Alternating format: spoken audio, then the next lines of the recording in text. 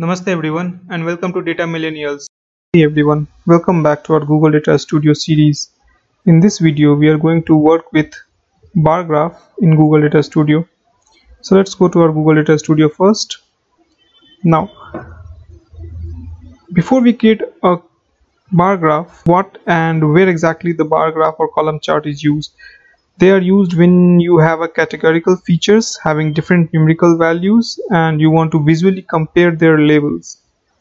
So the question is what is categorical value? In simpler words, it is a label. For example, the city name in our data. So if I show you the city, right?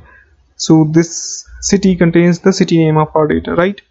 So this city or the card type is nothing less than labels. So you put a categorical variable on the x-axis of column chart.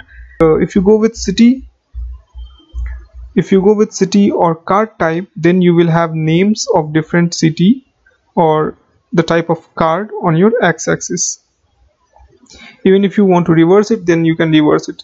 So let's go and see how we can create a column bar chart.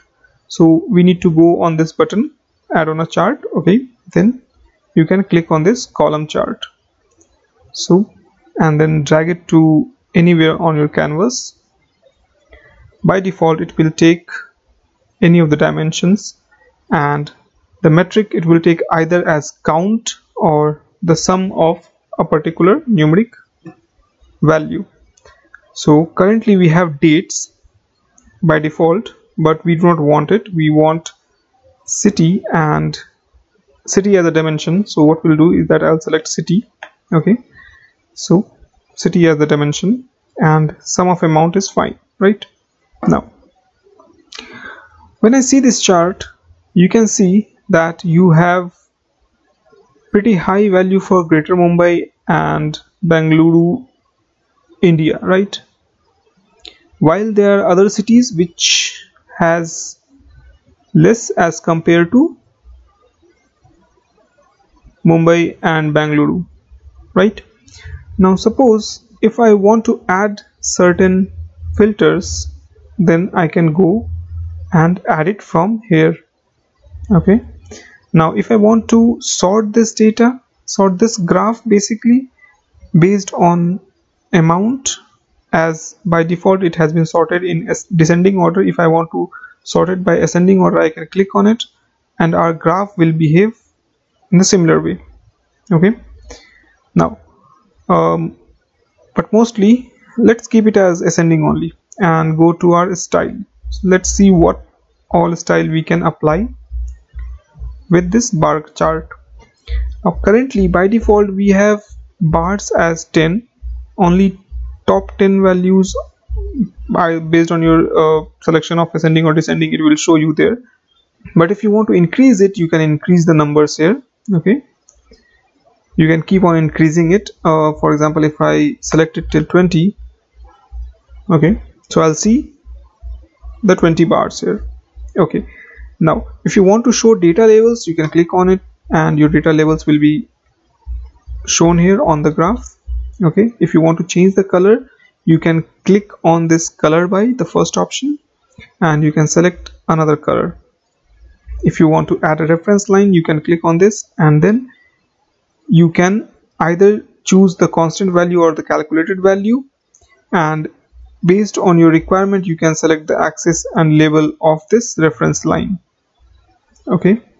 Now the same thing we have in our bar graph is similar to our time series or other graph where we can if we want to reverse the axis then we can do it from these options. Now if you want to apply some grid operations or if you want to change the font family you can change it from here. If you want to change the chart background you can select it from here. Okay. And the border style.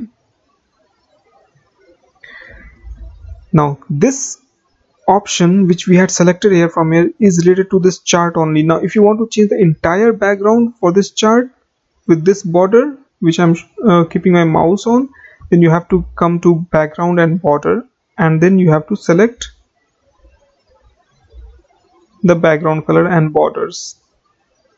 Okay you can select the width of the border and you can add a border shadow.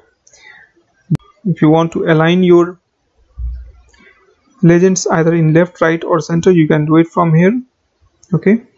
Now so this is how we create a simple bar chart in google data studio. We have multiple options available here.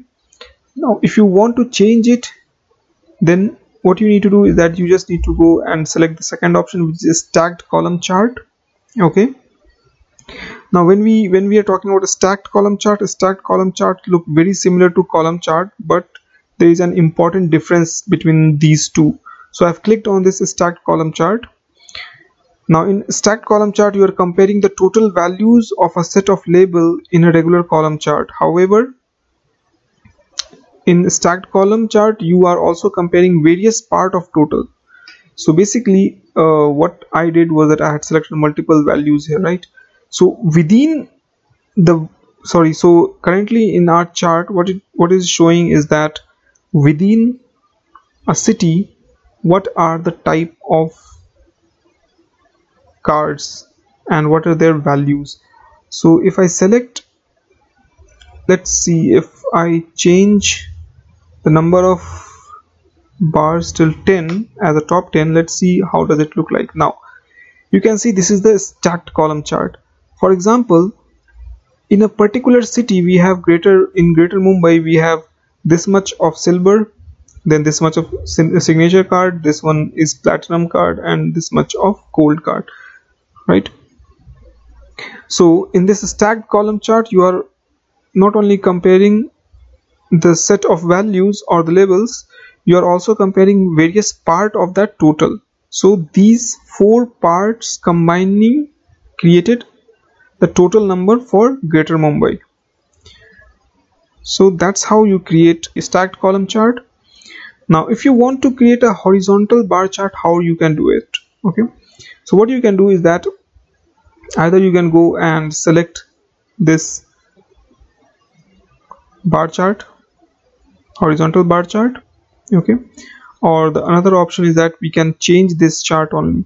So let's go and change this to horizontal bar chart if I click on it then you will see this looks far better than our start stacked chart right?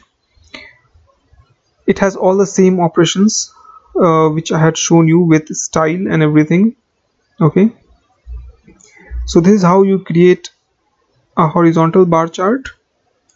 Now if you want to change it to a stacked bar chart the this horizontal stacked bar chart you can do it by clicking on this button okay again it totally depends upon your data and based on your data you have to select the chart type okay?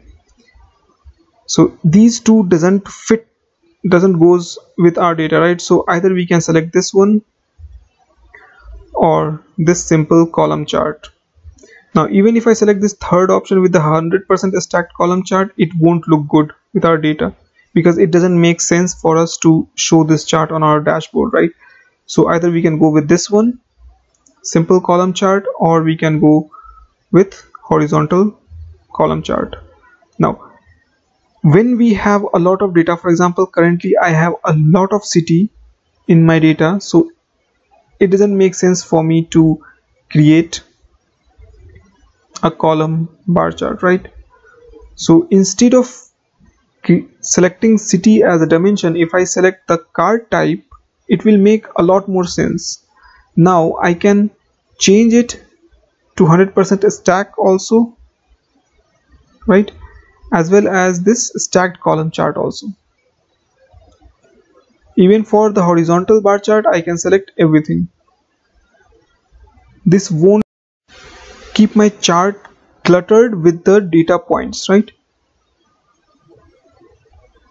Okay. So this is how basically you create a column chart or a bar chart in Google Data Studio. In our next video we'll see how we can work with line chart.